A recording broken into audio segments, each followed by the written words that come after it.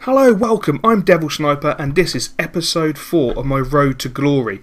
In episode 3, you would assume that I secured promotion Division 9, and today I'm using Manchester United as my first team. Good or bad?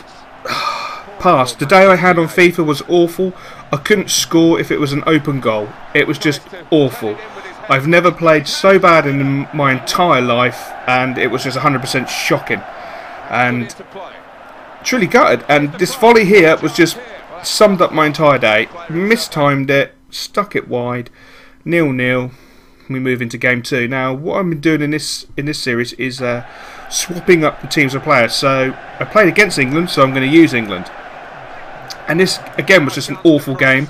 Apart from this moment, I really thought you, you would put your mortgage on this moment. Rooney chest, right foot volley, you would put a mortgage on that.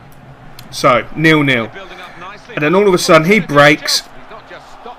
I didn't make a tackle, but I barged him over, and I honestly thought the ref would give a penalty. He didn't, so I got away with it.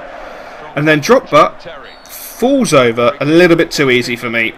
Terry gets booked, and I'm thinking I'm going to lose here, one 0 It's it's it's, it's it's the writings on the wall. I'm going to lose. Luckily, I'm saved. And I didn't. I've been Devil Sniper. This has been episode 4. Please tune in next time. Feel free to subscribe, comment, and rate. Cheers.